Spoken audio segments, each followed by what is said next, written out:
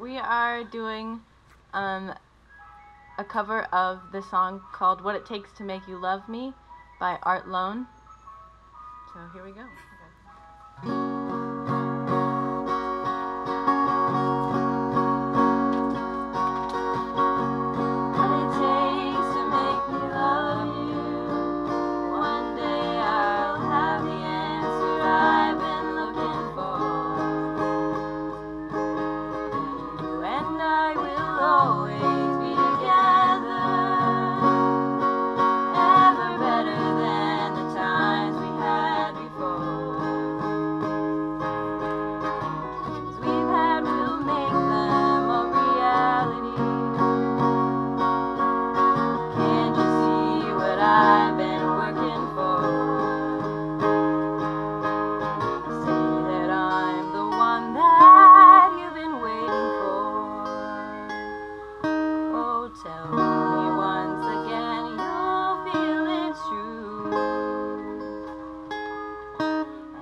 forgive me if I sin.